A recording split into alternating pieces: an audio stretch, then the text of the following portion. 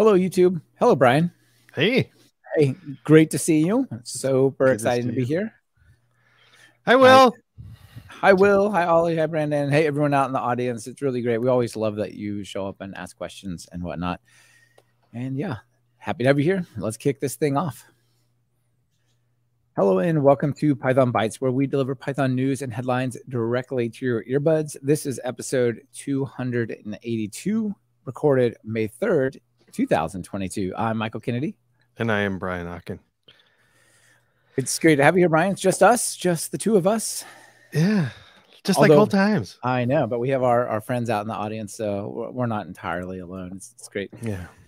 So let's kick it off. I'm I know you have a particularly exciting announcement uh, topic to cover here. So yeah, let's- Definitely. Let's, go do it. Okay, so um PyScript. So this was a, an announcement at PyCon US by uh, Anaconda's CEO Peter Wang uh, during a keynote. I wasn't there, but like everybody was tweeting about it, so it almost felt like I was I was there. So um uh but but I I haven't seen the presentation, so I can't wait can't wait till that goes online. So I know. uh, Are the videos? I have not seen the videos for the presentations at PyCon out yet. Are they out yet? And I just missed it. I haven't. Is my looked, YouTube but- broken? It should be full of this stuff. But like, what's up with? Is it supposed to be next day or something? I don't know. I know. I know. Anyway, I would have loved to live stream it, but I, I didn't see an option. So anyway, Yeah. I'm looking forward to watching this one in particular when it comes out because this is big news. so PyScript is Python in the browser. Um, so what does that mean? It is built on top of Pyodide, which is a port of CPython based on Web- WebAssembly. I'm pretty sure we've covered Pyodide before, but um, so this is a pretty neat thing. And one of the things that this, um, so the PyScript.net, if you go to it, it's got a little. It's kind of actually, if it's it's like hype and it sounds neat, and you can do Python in the browser, neat with the PyScript tags. But what does that mean? So there's a if you go down to the bottom, there's a GitHub uh, repo that you can go look at. This is what I suggest, and this will talk about. Um, there's a getting started guide, um, but what I did is uh, just followed this. Um, I cloned the repo, and then I went in and did the into the JavaScript area, and then did npm install, and then did this dev run run dev thing. So this only take me like five minutes to get this far, and um, and what you have is you've got one of the things that it has is it has an examples folder and you can just open this up now in your local your local browse local host um and there's all these cool demos like there's a a REPL where you can just do it's kind of like um uh jupyter where you can say like x equals three let's do this uh, and then x and then if i do shift enter it evaluates it. How neat is that? That's Wow, pretty that's neat. awesome. Yeah. um to do app here so make sure you listen to our podcasts. Go buy python testing with pytest. We'll check that because we know you already bought that. So um and then uh here's an example with d3 uh graphics this is neat i i don't think i've ever done this uh, there's an altair example and this is pretty fun because you click around and it changes the above it's like an interactive thing uh this is fun i we we use altair at- with a project at work so this is neat um the Mandelbrot set. So there's some code. So all of this code is in the repo. So you can look at the examples and look exactly how the code is done. There's a HTML file and a Python file for all of these. Um, so you can check it out. Actually, I don't know about the Python thing. It's it's it's HTML and Python within the HTML code embedded. So there isn't a separate file. But you have you can do imports and all this sort of stuff too. Um, oh, I went too far. But I wanted to bring up there's also an article that we're going to link to in the show notes that is called um, uh, PyScript Unleash the Power of Python in Your Browser. Um, this is by Eric Lewis Lewinson, and um, it runs through. It's it's a pretty interesting uh, little quick read of what it is if you're not familiar with uh, WebAssembly and Pyodide. So it's nice. So it's What do you What do you think, so Michael? excited. I am very excited. Uh, You know, there's been progress on the WebAssembly plus Python side on several occurrences that were they give you a sense of what's possible, but they didn't give you a thing to build with. You know what I Yeah. mean? They Yeah. So for example, Pyodide is awesome, but it's kind of like well, if I want to sort of host Jupyter kernel in my browser, like I can I can kind of do that, right? Um, the WebAssembly Python itself is great, but it doesn't specify a way to have a UI of your web page interact with Python. It's just oh, you could execute Python over here. Well, like, and then what? You know what I mean? Which is which is still good, but there's not something where like I can have a button on there that like wires up to this thing in Python, and I can have this list that binds in and that way, and so on. Yeah. And this looks like we might be there. Like one of the things they talk about on the page is not just running Python in the browser and the Python ecosystem, as you pointed out, but really importantly, two more things Python with JavaScript, bi-directional communication between Python and JavaScript objects. Yeah. So you can wire into like events on the page and other uh, DOM type of things. And yeah, then so visual application development ties in with that with uh, use readily available curated UI components such as buttons, containers, text boxes, and more. Oh yeah. Yeah, I mean, like these are just little quick examples, but I'd love to see some some uh, bigger examples of things like that, like uh, being able to connect, um, uh, it you know, yeah, JavaScript interaction with uh, stuff on on the Python side. That'll be neat. Yeah, it's weird to see Python written just straight in the browser. You know, like yeah. here you have like angle bracket pi dash script and just import anti-gravity, anti-gravity dot fly. and like, wait, what?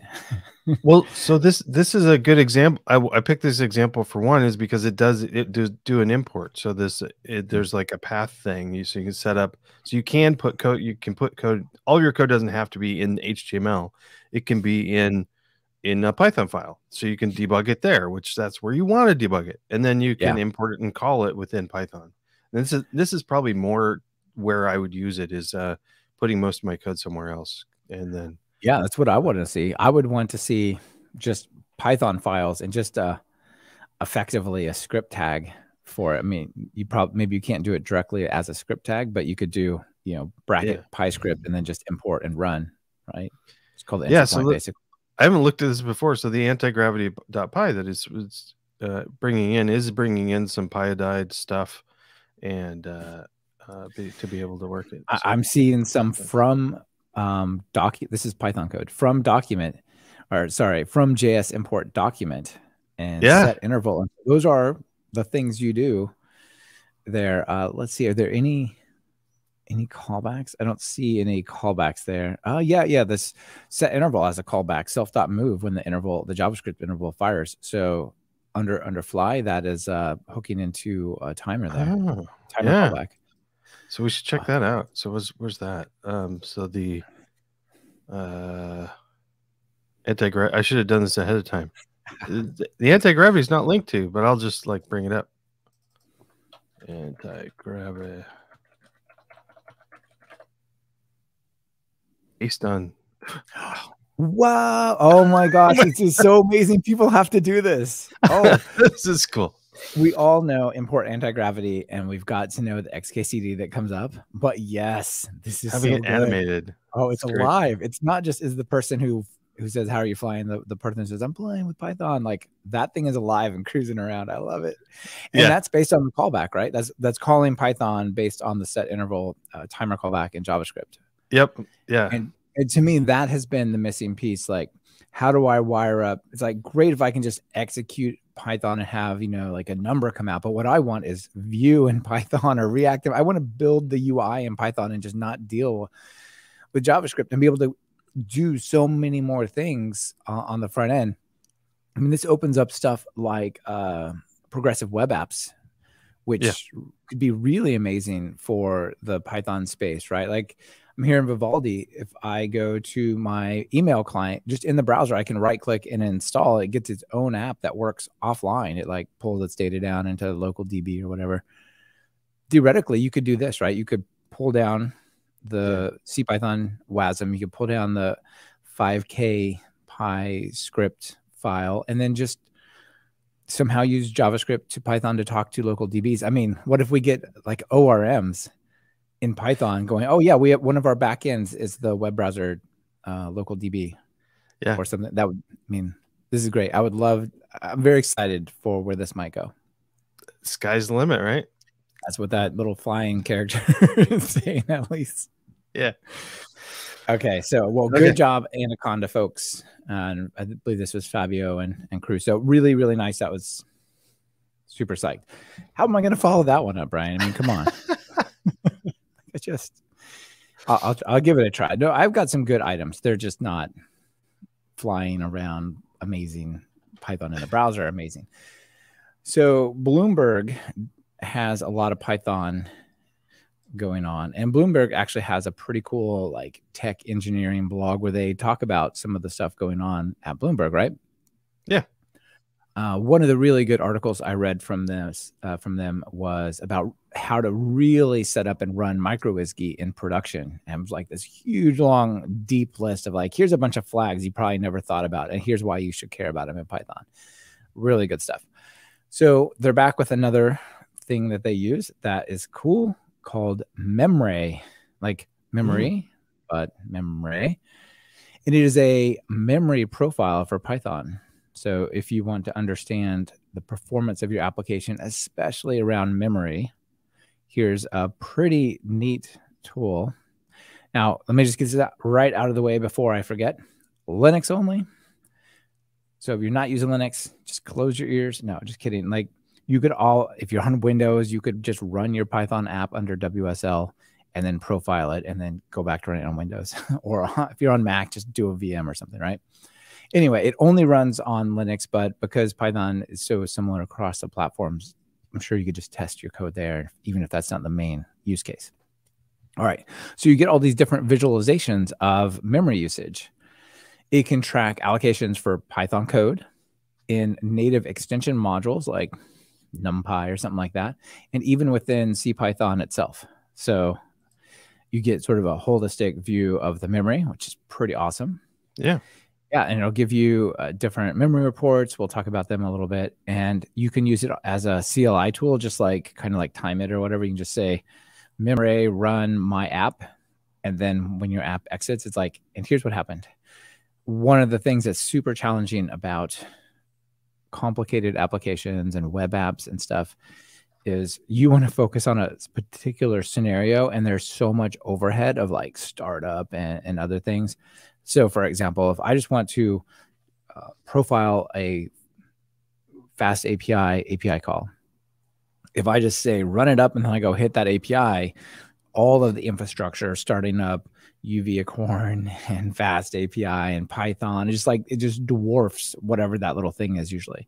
So there's also a programmable API that says, you know, you could create like a context manager, like I don't know if it actually is that way, but you could certainly build it if it doesn't exist, like with with memory profile here, and just do a little block of code and then get an answer, which I think is pretty neat. Uh, Alvaro asked if it accepts an entry point. Uh, I suspect you could call an entry point uh, because you just do the run on the command prompt. So you could probably yeah, pass it whatever over. You, whatever you run. Yeah. Yeah, exactly. But the problem is there's still like the startup of just CPython itself, right? Mm. Like I always find just the imports and all that is just way more overhead than you know it clog clutters it up. Anyway, let's hit some notable features of Memray. It traces every function call as opposed to samplings it. So instead of just going every millisecond, what do you do now? What do you do now? Let's just record that, right? It actually exactly traces so you don't miss any functions being called, even if they're brief. It handles native calls in C++ libraries, so the entire stack is represented in the results, which is pretty cool. Oh, that's pretty neat. Yeah, that's pretty uh pretty dope. Apparently, it's blazing fast. There's some kind of character. I think it's a race car there. Uh, it causes minimal slowdown in the app if you're doing Python tracing. If you do the native code stuff, it's a little bit slower. It says, but that's optional you get a bunch of reports. We'll see those in a minute. It works on Python threads. So you can see, I know all these people watching, but you check out the web page. There's a little thread, like a sewing thread emoji for works or on thread. thread. yeah, dude. So it also works on native threads like C threads and native extensions, which it represents as an alien plus the thread icon. I love it. Alien threads, yeah. Yeah, yeah, yeah. So let's look over here real quick. Uh, we'll look at just, I guess, the reporting, right? I mean, the running is super simple, as I said. Memray run Python file with arguments, or memray run dash m module with arguments. Yeah. These are the places you could put your entry point and so on. And and Dean in the audience says we've had a rich spotting. Okay, I, I haven't I haven't pulled that up yet, but very nice. So there's different ways in which you can view it. And the first one that I ran across, which is pretty interesting, if you're familiar with glances or you want to go old school like top or one of these things you can run in just the terminal and get like a not really with rich, uh, not rich, uh, not rich uh, with top, but uh, rich output like uh, glances is you can run it in a live mode where while it's running, it'll show you what's happening with the memory. That is so awesome. That's pretty cool. Yeah. Yeah. yeah. So instead of just showing you a memory graph, it's like, guess what? We're running here right now with this many allocations and and so on. Yeah, like that looks super neat. Just give it and the dash dash line. And if you've got something interactive, you can interact with it and watch the memory change then. So yeah, yeah. You can cycle through threads. You can sort by total memory or its own memory of um the that's a common thing you do in profiling like this and all the stuff it's called or just this method itself sort by allocations versus memory usages and all kinds of stuff. So that's really neat. It will track um, the allocations across forks as in process sub process so oh, why would you care? Because multi-processing. If you want to track some kind of multi-processing memory workflow it'll actually do that. It just you do dash uh, dash follow fork and it'll like aggregate the stats across the different processes. Kind of insane.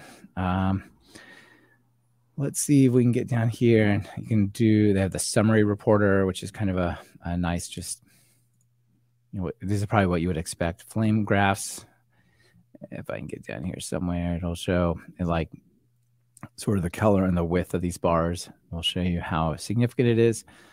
There's a nice tree version that'll show you the biggest 10 allocations and then a call stack sort of in and out with trees and like how much memory is being allocated in each one of those and so on. So that's nice. Yeah. This is a nice app, right? Nice uh, little utility. Yeah, definitely.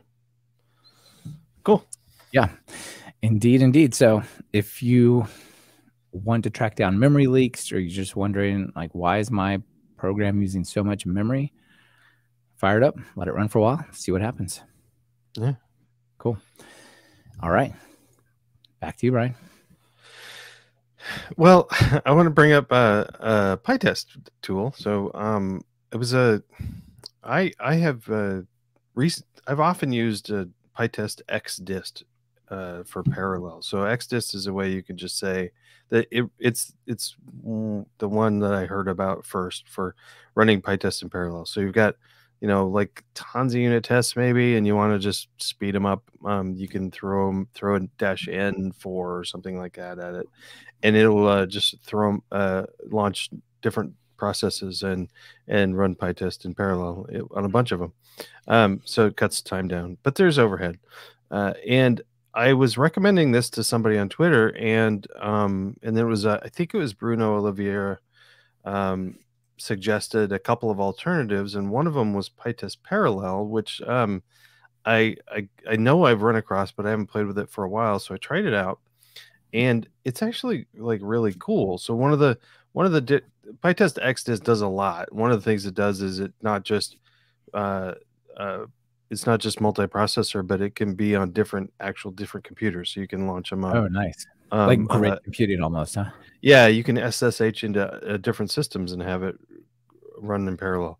Um, but that you know, you don't. I don't usually need that kind of power.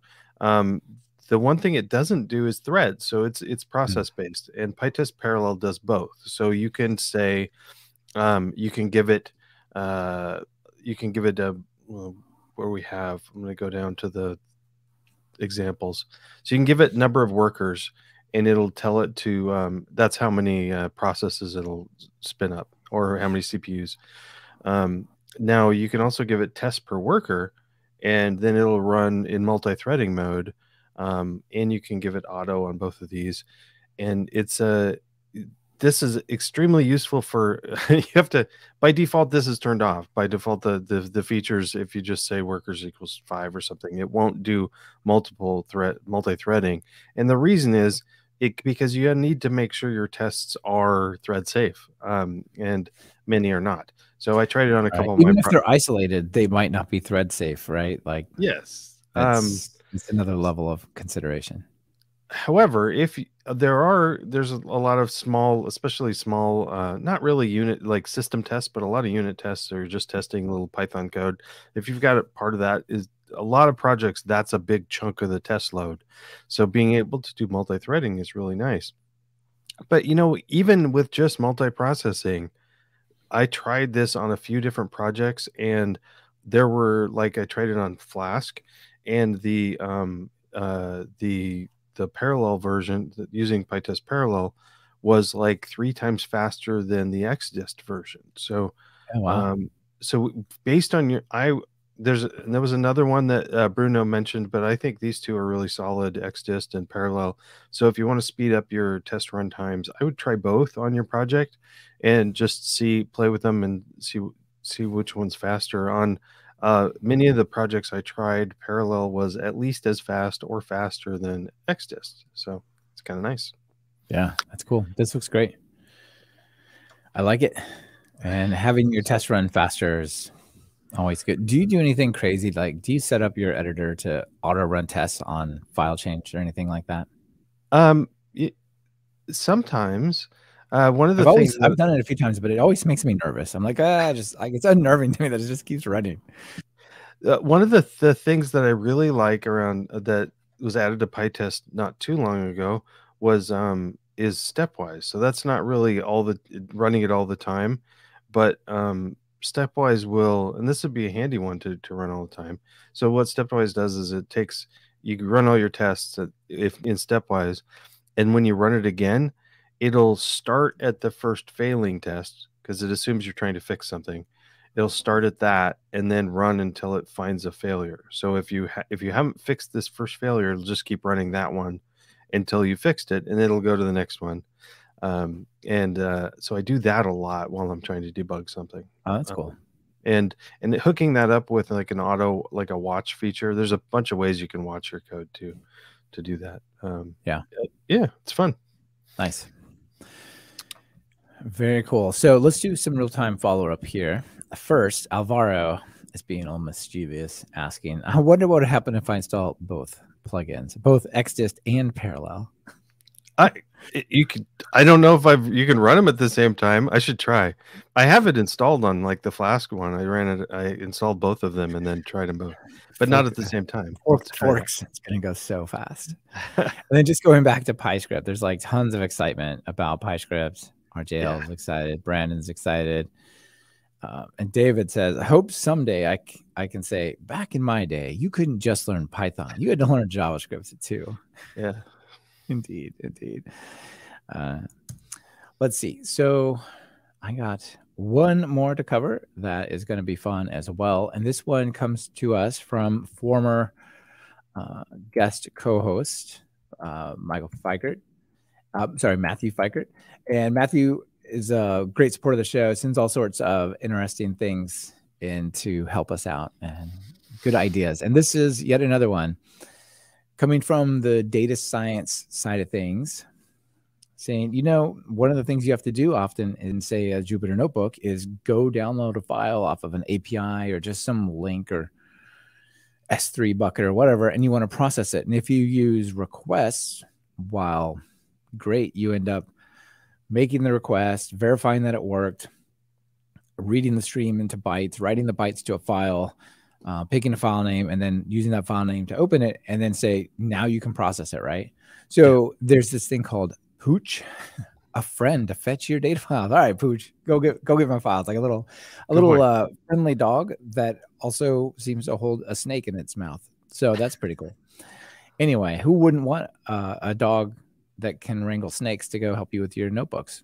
Anyway, the idea is you can do all of what I described with requests. You can do that in one line of code.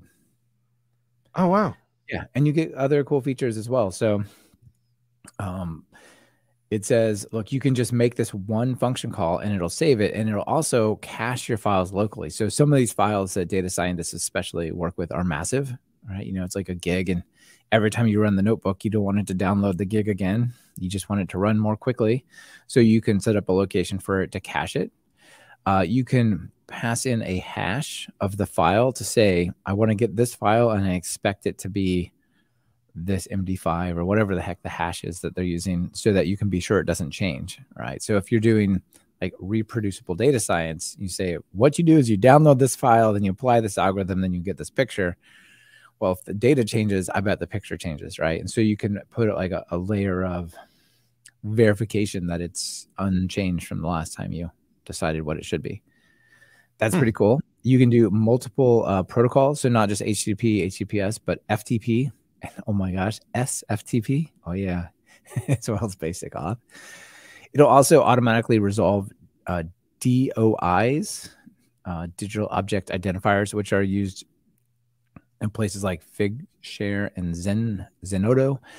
And this is about the re- reproducible science. Like here's a here's the file, and like we've been assigned an immutable ID that we can always refer back to it. So you can just say, here's the ID, and it'll actually get the file, and it'll even unzip and decompress files upon download. Pretty neat, huh? Yeah, pretty straightforward. Yeah. Let me see if I can find an example of getting a single I love, file. I like the the the section of learning about it. It's called training your pooch. That's cute. Oh, nice! I love it. Apparently, it has progress bars, post download actions, logging, and uh, you get multiple files. But the main use case is just file equals pooch.retrieve URL done. That seems pretty nice. Yeah, that's great. It's my data. Here it is. Oh, cool. Uh, so Pamphile Roy on the audience says, "Hey folks, funny we're adding this to SciPy optional to have the uh, SciPy dataset submodule. Uh, Scikit Image is using this as well. I had no oh, idea. Nice. Very cool. Thanks for the extra background there. But I think this is great. In fact, I know it sells itself, it bills itself as being for data science. I also like to download files sometimes and not go through five or six lines of code. I could use this. Yeah, yeah there's there's a lot of stuff that data science people are doing that we can use in lots of other fields so indeed i do think that's actually one of the really interesting aspects of python is we have so many people from these different areas that it's not just all you know cs grads doing the same thing yeah yeah for sure all right well those are my items for today brian uh nice um I don't have any extras today. Do you have any extra inform in stuff? I do. I do have extras. So this one I'm very, very excited about. I have a new course that I just released yeah. called Up and Running with Git, a pragmatic UI based introduction. So I'm, I'm really excited. I just released, I haven't really even announced it yet, but I finished getting it all public and online and turned all the GitHub repos public and all that stuff right before we jumped on the call today. And the idea is there are tons of Git courses. So why create a Git course? Well, I feel like so many of them are just like, okay, we're just going to work in the terminal or the command prompt. And you're just going to assume that like that's the world of Git that you live in and like kind of yeah. at least common denominator approach. And while that that is useful, like I don't think that's how most people are working, right? If you're in Visual yeah. Studio Code or PyCharm, like there's great hotkeys just to do the Git stuff and see the history and whatnot. And there's other tools like Sourcetree and Tower and others. So it kind of takes this approach of like, well, let's take all the modern tools hmm. that give you the best visibility and teach you Git with that. So super fun. So which GUI tools are you using then? Or which ones um, are you showing? Visual Studio Code, PyCharm, okay. Sourcetree. Okay. Those are the thing.